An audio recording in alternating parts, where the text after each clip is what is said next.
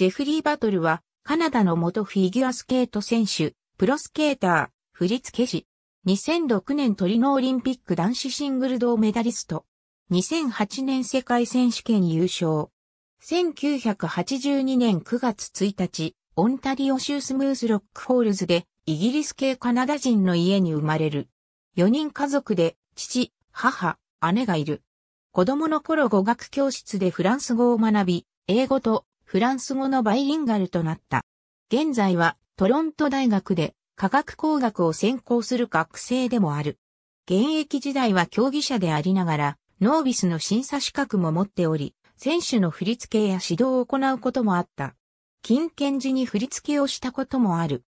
引退後、オープンリーゲーとして、トロントゲーアイスホッケーリーグ所属のアイスホッケーチームに加入し、29歳にして個人競技から団体競技に調整を始めた。またメダルやオリンピックユニフォームなどをクラガに寄贈することを公表した。2014年2月には結婚をした。美しいスケーティングとエッジワーク、イナバウアーなどのムーブインザフィールドが持ち味。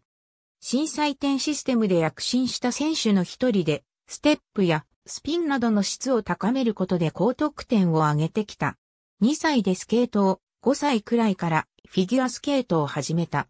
7歳の時、コーチになったばかりのリー・バーケルの元に着いた。10歳くらいの頃には、2歳年上の姉ミーガンとアイスダンスで競技することもあった。同時にバレエにも取り組んでおり、13歳の頃にはカナダ国立バレエ学校から入学許可を得ていた。2001から2002シーズンの NHK 杯でグランプリシリーズ初参戦ながら2位となった。4大陸選手権では初出場初優勝。カナダ選手権では3位に入っていたが、カナダのソルトレークシティオリンピック出場枠は2つしかなく、出場できなかった。世界選手権でも補欠だったが、エルビス・ストイコが欠場したため出場した。2002から2003シーズン、4大陸選手権のショートプログラムで4回転マイナス3回転のコンビネーションジャンプに成功し、4位となった。2003から2004シーズン、NHK 杯で GP シリーズ初優勝を飾る。GP ファイナルへの出場権を得たが危険。世界選手権への出場は逃したが、4大陸選手権で2度目の優勝を果たした。2004から2005シーズンからラファエル・アルトゥニアンに指示した。カナダ選手権で初優勝し、GP ファイナルと世界選手権でも2位となる活躍を見せた。2005から2006シーズン、GP シリーズで表彰台に上がり続け、カナダ選手権も連覇。トリノオリンピックでは SP でジャンプの転倒がありで遅れるが、フリースケーティングでは4回転トーループの転倒がありながら演技構成点で高い評価を受けるなどして追い上げ、銅メダルを獲得した。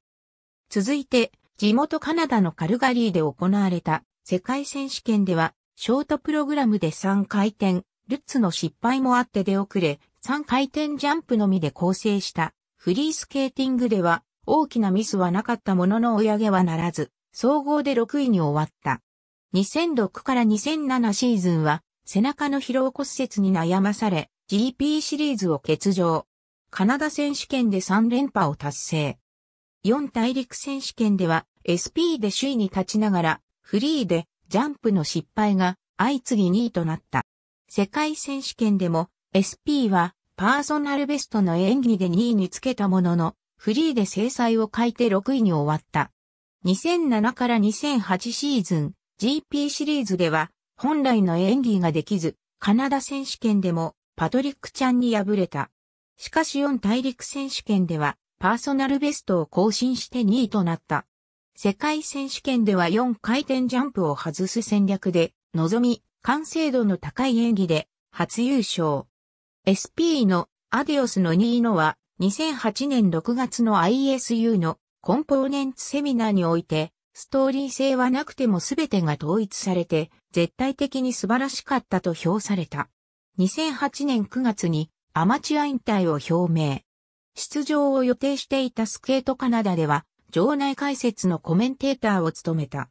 現在は、プロスケーターとして活躍する傍ら、振付師としても活動している。2012年、第1回メダルウィナーズオープンの男子シングルで優勝。